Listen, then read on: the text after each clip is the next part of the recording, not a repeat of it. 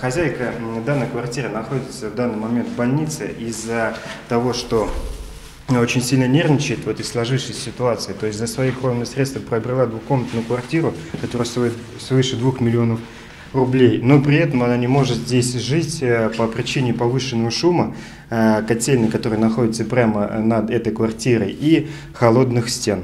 Две глобальные проблемы – шумно и холодно. Кажется, дом номер 3 на улице Октябрьской в Елге, не смешно, конечно, но правда, был для компании «Домострой» тренировочным. Они словно учились возводить и экономить, иначе не скажешь.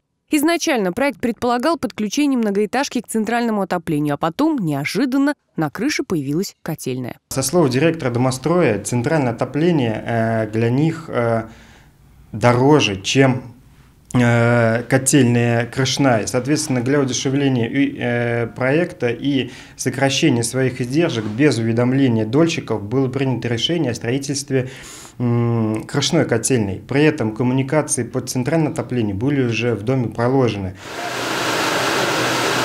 Установили оборудование с нарушением регламента, не обеспечив должную шумоизоляцию. В декабре 2013-го при заселении люди пожаловались директору, мол, устраните. Он обещал, все будет, даже письмо гарантийное есть. И начались жалобы. Сначала потоп на третьем этаже. Мы не могли здесь зайти вовремя вместе со всеми, потому что по стенам текла вода, прям как вот в общественной бане.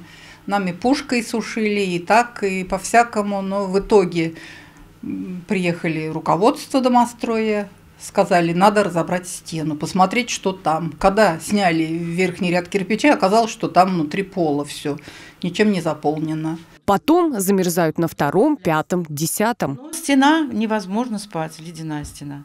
И мне главное передвинуть этот диван, даже не знаю, как мне делать. Там у меня все эти все шнуры под той, даже не знаю куда. Мне, короче, невозможно. Там шкаф-купе, он у меня не передвигающийся, и, в общем, так я сделала себе, что только в этом углу мне приходится спать. В домострою, видимо, решили откреститься от дома проблемного и предложили людям идти в суд, который, кстати, жильцы выиграли. В общей сложности было более 20 судебных заседаний, в том числе было два судебных заседания в Владимире в апелляционной инстанции. Было проведено две судебных экспертизы по результатам которым все-таки было признано, что недостатки в данном доме есть, ну и, соответственно, домострой обязали устранить данные недостатки. И сделать это должны были срок до 7 января 2019 -го. Случись чудо, репортаж бы не вышел в эфир. Выяснилось, что руководство домостроя тоже обратилось в суд с просьбой отсрочить решение. Вроде бы мы только до августа успеем, но это не точно.